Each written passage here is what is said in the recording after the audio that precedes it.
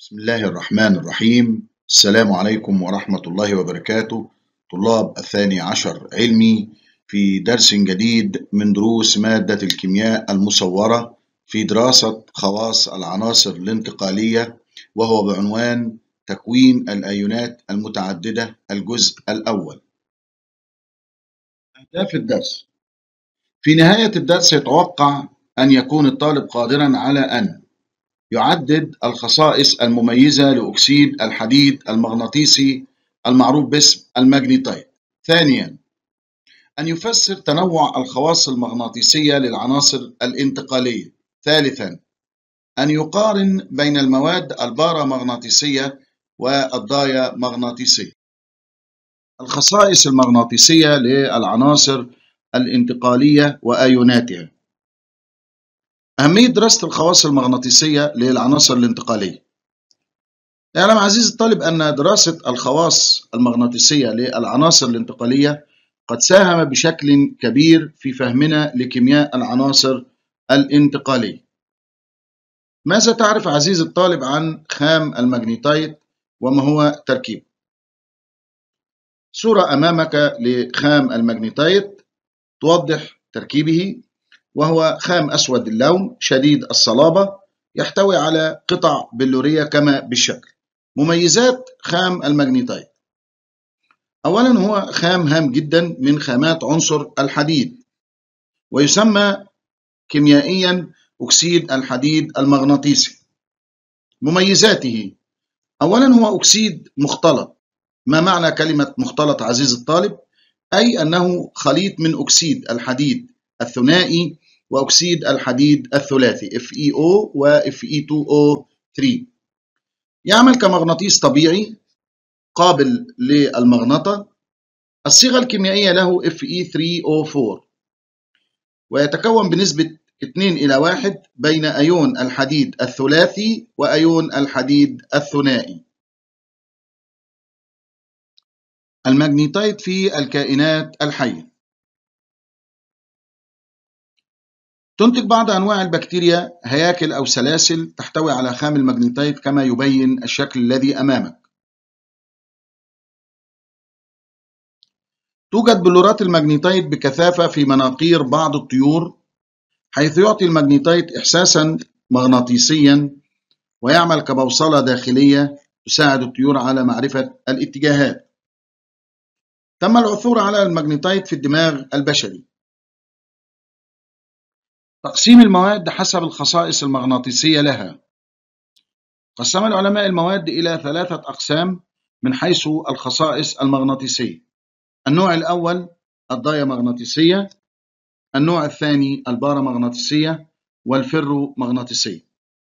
المواد الضايمغناطيسية أبناء الطلاب لا تنجذب نحو المغناطيس. البارامغناطيسية تنجذب بشكل ضعيف. الفيرومغناطيسية تنجذب بشدة. المواد الضايمغناطيسية أبناء الطلاب لا تملك إلكترونات مفردة في أفلاك المستوى الفرعي دي. البارامغناطيسية تملك إلكترونات مفردة الفيرومغناطيسية تملك إلكترونات مفردة. من الأمثلة على المواد الضايمغناطيسية النحاس والذهب والفضة بينما المواد البارامغناطيسية مثل السكانديوم والتيتانيوم والفاناديوم. أما المواد الفيرومغناطيسية فهي مثل عنصر الحديد والنيكل والكوبالت. ما هي العوامل التي تسبب اختلاف الخصائص المغناطيسية للعناصر الانتقالية؟ هناك عاملين أبنائي الطلاب. العامل الأول هو وجود أو غياب الإلكترونات المفردة في المستوى الفرعي D. إما أن تملك المادة إلكترونات مفردة أو لا تملك. العامل الثاني هو اختلاف اتجاه المجال المغناطيسي. الناشئ من الحركة المغزلية للإلكترونات في الأفلاك الذرية التي يجعلها تعمل كمغناطيسات صغيرة. يكون اتجاه المجال الناشئ عنها عكس الاتجاه أو في نفس اتجاه المجال المغناطيسي الخارجي. لاحظ معي عزيزي الطالب حالات توزيع الإلكترونات في الأفلاك الذرية في المستوى الفرعي D. أولا أفلاك بها إلكترونات مفردة تغزل في اتجاه واحد وينتج عنها الانجذاب للمغناطيس الخارجي. انظر بالشكل. الكترونات مفردة. وتوجد هذه الأفلاك في المواد البارامغناطيسية والفيرومغناطيسية. ومن أمثلتها أبناء الطلاب المنجنيز والكوبالت والنيكل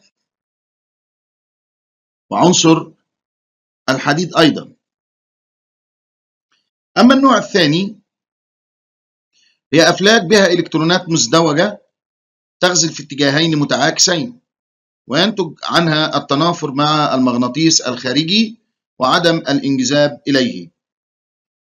انظر كم بالشكل تجد أن كل فلك لديه زوج من الإلكترونات يغزل كل منهما عكس الآخر ويوجد في المواد الدايا مغناطيسية مثل عنصر الزنك Zn أو الخارصين وعنصر النحاس سي يو.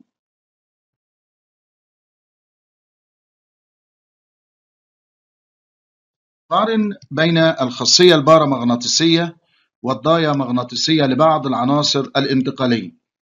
لدينا هنا جدول أبناء الطلاب للمقارنة بين المواد البارامغناطيسية والمواد الضاية مغناطيسية أولا المادة البارامغناطيسية أبناء الطلاب هي مادة تنجذب نحو المجال المغناطيسي الخارجي.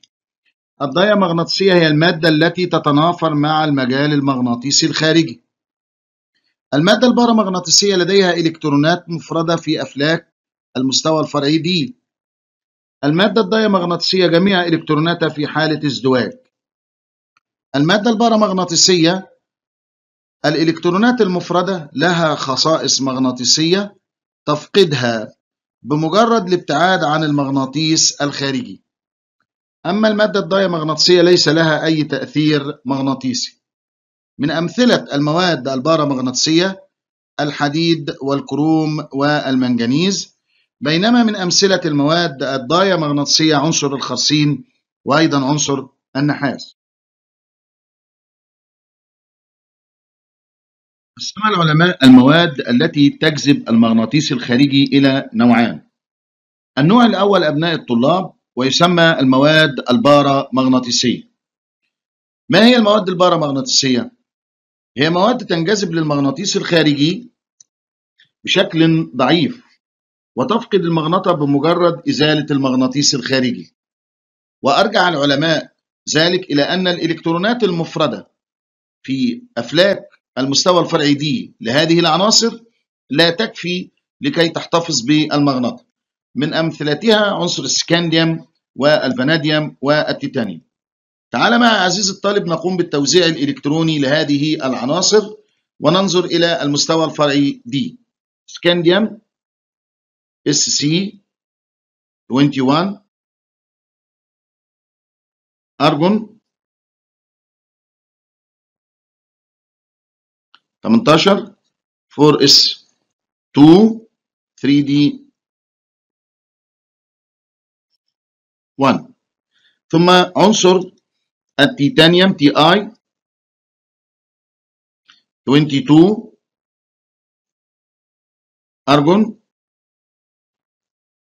18 4 s. 2 3 d 2 ثم عنصر الفاناديوم في 23 أرجون 4 اس. 2 3 دي 3 لاحظ عزيزي الطالب أن كل منها لديه إلكترونات مفردة. ولكنها لا تكفي لكي تحتفظ بالمغناطة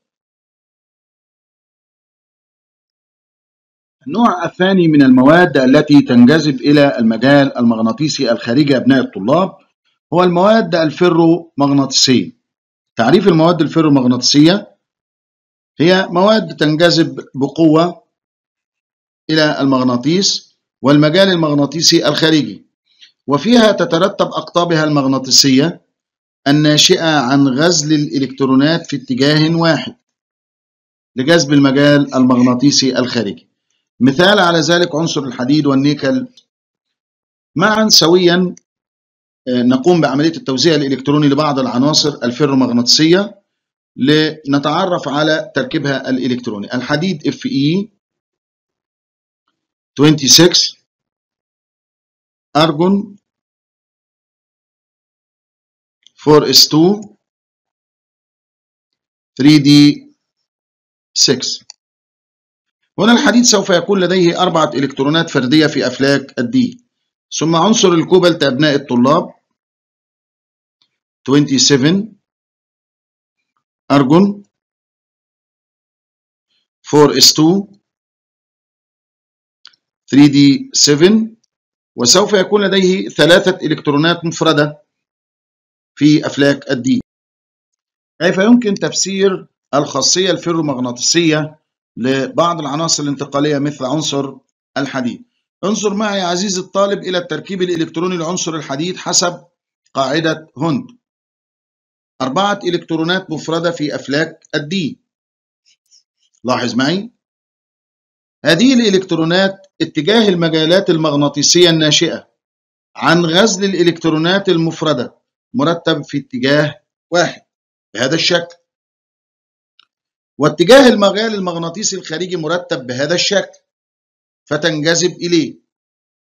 والتفسير إذا يكون اتجاه مجال المغناطيسات الصغيرة الناشئة من غزل الإلكترونات المفردة في ذرة الحديد في نفس اتجاه المجال المغناطيسي الخارجي.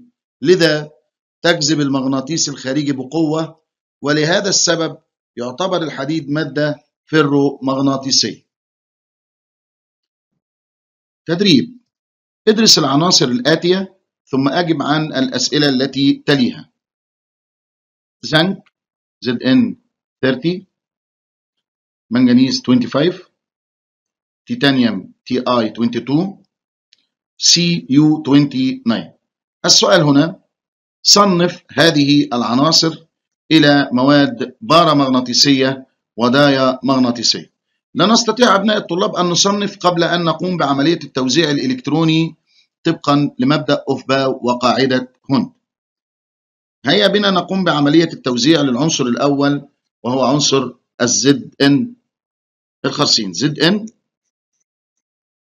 عدد الذري 30 أرجون 4s2 3d 10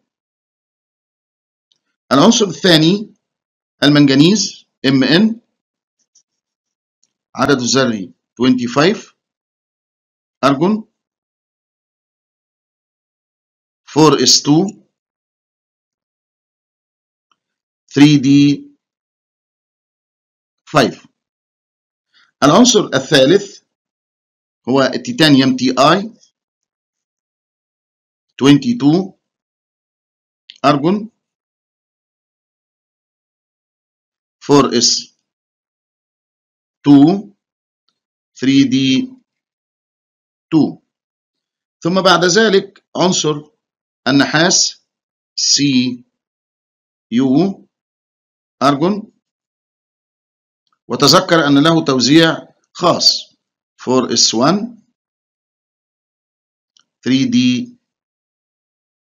10 انظر إلى توزيع هذه العناصر حسب قاعدة هوند عنصر الزنك. كل الإلكترونات في أفلاك المستوى الفرعي دي في حالة ازدواج كما ترى. أسمع البعض يقول أنه مادة ضاية مغناطيسية والإجابة صحيحة. إذا هذا العنصر هو مادة ضاية مغناطيسية. لأن ليس لديه إلكترونات مفردة في أفلاك الدي عنصر المنجنيز أبناء الطلاب نلاحظ وجود خمسة إلكترونات مفردة. فعلا هو مادة بارا مغناطيسية عنصر التيتانيوم. هل تعتقد أنه مادة بارا مغناطيسية أم ضايا مغناطيسية عزيز الطالب؟ نعم أحسنت إنه مادة بارا مغناطيسية لوجود إلكترونات مفردة. عنصر النحاس. ماذا تتوقع؟ فعلا هو مادة ضايا مغناطيسية مثل عنصر الزنك. إذا وجدنا أن هنا عنصر الزنك والنحاس عنصرين كلاهما ضايا مغناطيسي أما المنجنيز والتيتانيوم فهي مواد بارا مغناطيسية. اذكر السبب العلمي مرتبط بالسؤال السابق. احتفاظ بعض المواد بالمغنطة بعد إزالة المغناطيس الخارجي.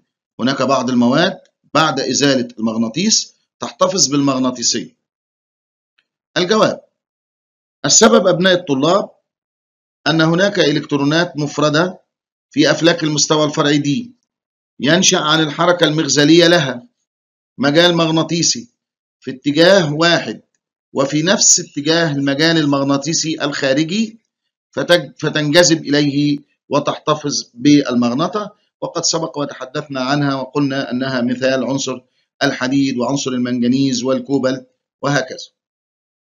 والآن أبناء الطلاب قد وصلنا إلى نهاية حلقتنا اليوم ومع تمنياتنا لكم بالتوفيق والنجاح بإذن الله تعالى وإلى اللقاء في حلقة قادمة. السلام عليكم ورحمة الله وبركاته.